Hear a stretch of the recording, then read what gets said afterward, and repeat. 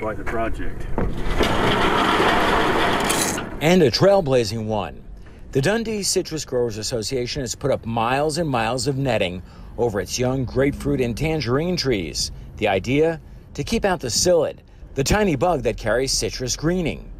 Based on University of Florida research, they're confident it's going to work. How many acres have you planted of this?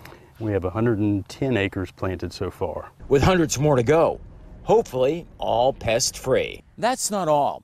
There are a lot of other advantages that makes this into a near perfect growing environment. Growers use less pesticide and water. You get the sun, but you get a better quality of the sunlight. The screen actually diffuses the light um, and distributes it better within the tree.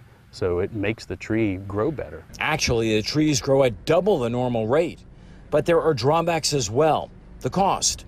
Growers here are investing millions of dollars, and the screen could rip during a hurricane.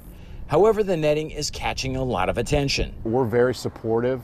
Um, we need more trees in the ground, whether it is under protective cover or, or traditional planting methods. Because the industry has been in a squeeze for years and now only produces half the fruit it did just a decade ago.